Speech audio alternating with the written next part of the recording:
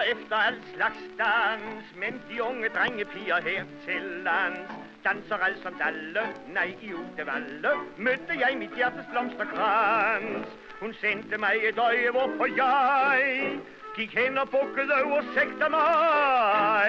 Kanskje frøken Carlson danser lite Charleston. Det er en jævlig trivelig og stilig dans. Ni skal bare smække op de søde lække, og så vifte lite med den lille svans. Og så er vi inde på det rette vej.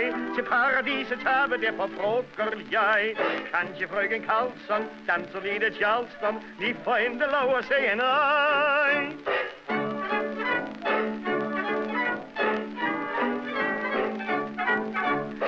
Kom ind på Udevalde Stadshotel Lige så komfortabel som i Jørgens Jeg kan godt dykere, folk, man konverserer, Dertil er jeg meget triviel. Vi intime sagde ikke et ord Så tog musikken fat op, jeg får. Kanskje frøken Karlsson danser lite Charleston Når jeg danser prøver jeg så let og fri. Jeg så løver knævren, jeg fortalt fra leveren Sagt en masse sludder uden mening i. I hvor deres rygge både blød og svej. Jeg slår kloen i den som en sulten hej Kanskje frøken Karlsson danser lite Charleston Ni får endelig lov at sige nej.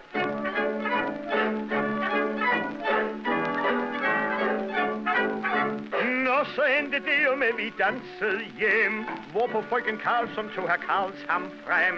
Og imens vi punchede, sad vi så og klunsede, om jeg skulle gå, før klokken den var fem. Men da jeg syntes, natten var lidt lang, så satte gramofonen jeg i gang. Kan de frøken Karlsson danse lige Charleston, så kan vi vist bedre holde varmen her. Rundt med mig hun skridtede, og i smuge titel, Gud forbarme sig, hvor var dog barmen svær vejr Som en båd i Kattegat, jeg følte mig. Jeg ved bølgegangen blev hyggelig bleg. Men kanskje frøken Karlsson danser lige det Charleston. Ni får endda lov at sige nej.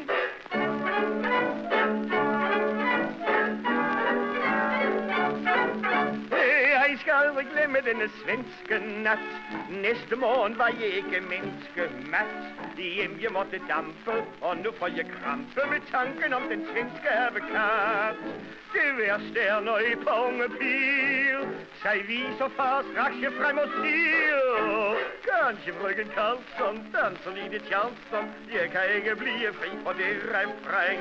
Om jeg ikke danser, særlig godt så stanser, intet mig jeg ikke engang en himmelseng. Jeg skulle blive idiot en gang af spål, for det ser virkelig ud til, at det tilles flål. Kanskje frøken Karlsson danser i det Charleston. Vi får endda lov at sige nej.